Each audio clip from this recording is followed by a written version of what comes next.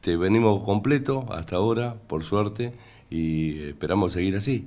Este, hoy por hoy este, ya no tenemos pasaje por lo menos hasta el 19 del mes eh, este, así que veremos, y ya la, a partir del 19 tenemos un 80% también vendido.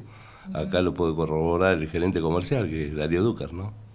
Bueno, yo marco ¿no? esto de eh, un gran atractivo turístico porque mucha gente, además que también viaja en el tren por primera vez, eh, quiere vivir ¿no? la experiencia de, este viaje, ¿verdad? Exactamente, hemos tenido este, gente que nunca la había visto, yo por lo menos de los cuatro años que llevo acá, gente de Cipoletti, que está este, haciendo este viaje con una experiencia única porque quiere viajar en el tren y por la atracción turística que tiene la línea sur, ¿no? Bueno, y hoy por hoy, ¿cuál es la demanda? Bueno, como todas las temporadas estivales, generalmente vienen de la provincia de Buenos Aires, de, todo lo que sería la costa atlántica, de Córdoba, Santa Fe. Eh, muy bien con las ventas, hemos empezado hace unos tres meses con la operación de lo que se está vendiendo ahora, así que vamos a llegar al 100% en, en la mayoría de los trenes desde enero hasta febrero la temporada termina los últimos días de febrero, para nosotros como, para todo el mundo.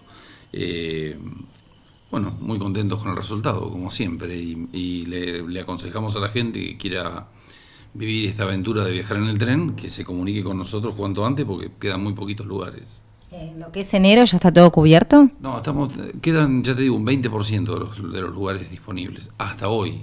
Eso se está vendiendo permanentemente día a día, así que cuanto antes nos comuniquemos, mejor para más suerte van a tener. Y lo pueden hacer a través de nuestro correo electrónico o conectarse con las estaciones, con la estación de acá de Viedma al 422-130, así que es muy sencillo obtener un ticket nuestro. ¿Qué ofrece el tren patagónico? Bueno, el tren patagónico eh, ofrece tres clases distintas para, de acuerdo a lo que la gente eh, pueda acceder a, comprar. Eh, las tres clases son primera, la otra es Pullman y la última, que es la mejor, es el camarote. También llevamos bandejas automovileras para llevar autos o camionetas en este momento. Y también llevamos un coche restaurante con comidas típicas de acá de, la Patagonia, con vinos rionegrinos, así que es muy recomendable el servicio de nuestro coche restaurante. ¿Y hoy cómo se encuentra el servicio? Excelentes condiciones todo, la verdad que muy, muy tranquilos, estamos esperando el viernes para, para iniciar la temporada de enero. Van a tener un maravilloso viaje y que van a cumplir con el 100% de la ocupación.